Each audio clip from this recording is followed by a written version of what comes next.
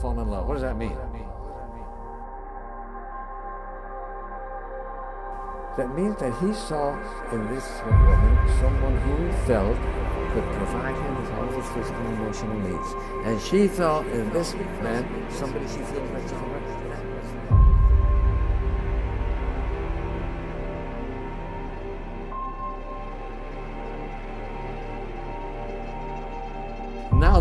part of me has become in you, but there's part of me you that I love. So true love is a love of giving.